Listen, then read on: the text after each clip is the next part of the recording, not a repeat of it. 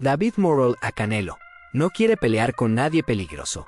El propio Álvarez recientemente reconoció que no es la misma estrella que ganó en diferentes categorías de peso, pero esperar reivindicarse ante Charlo. David Morrell Jr.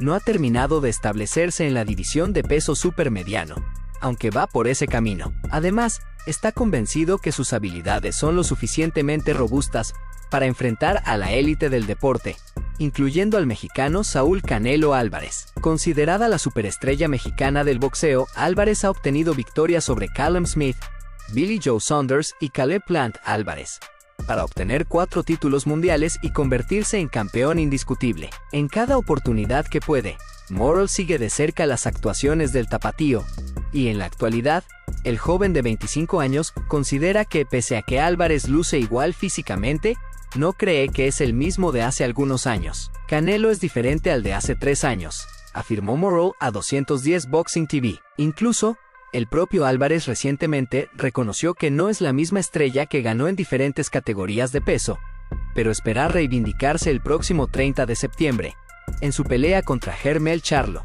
quien subirá dos categorías de peso para enfrentarlo por sus cinturones. Actualmente, la división de peso supermediano posee nombres de alta calidad, peleadores conocidos y dignos. Morrell, sin embargo, Morrell se pregunta por qué se pidió a Charlo, en lugar de a él u otro perteneciente a la división. Tras pensarlo y buscar explicaciones, Morrell cree saber la respuesta de darle a Charlo la oportunidad. Canelo no quiere pelear con nadie peligroso, sentenció Morrell. Canelo no piensa en el final de su carrera.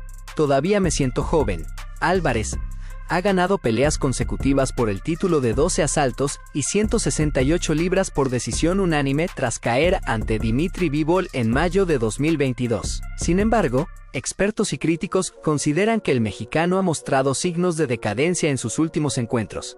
Pero Álvarez está convencido que todavía tiene por delante muchas peleas de nivel. Aún me siento joven, fresco y no pienso en el final de mi carrera. Entreno y peleo todos los años y ya veremos en el futuro pero todavía soy joven y me siento genial, fuerte y siento que estoy en mi mejor momento, precisó Álvarez.